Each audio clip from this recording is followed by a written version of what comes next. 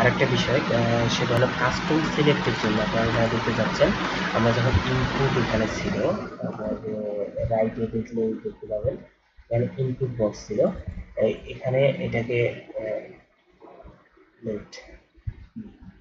Input বক্সের ক্ষেত্রে সেখানে কাস্টম সিলেক্ট ইউজ করছি। কাস্টম সিলেক্ট যদি আমি ইউজ না করি, সেক্ষেত্রে আমার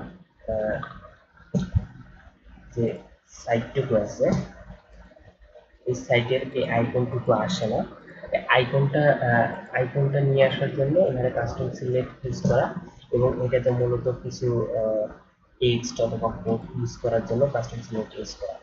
তো আমরা আমাদের মতো করে এখানে কাস্টম সিলেক্ট ইউজ করতে পারি এবং এখানে যে আইকনটুকু দেখছেন, এটা এটাকে ইমেজের মাধ্যমে নিয়ে আসা। এতটুকুই এতটুকুই বাকি ছিল। ধন্যবাদ।